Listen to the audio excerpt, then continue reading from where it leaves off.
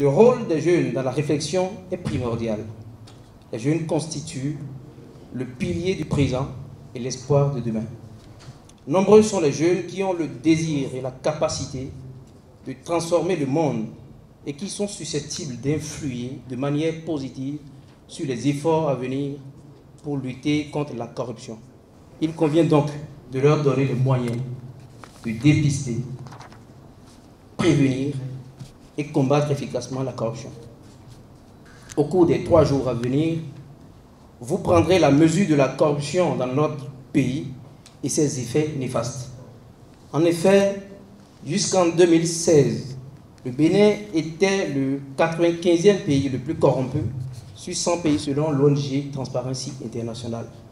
Les efforts de son Excellence Patrice Talon, président de la République, ont permis à notre pays de réduire considérablement l'ampleur du phénomène en deux ans.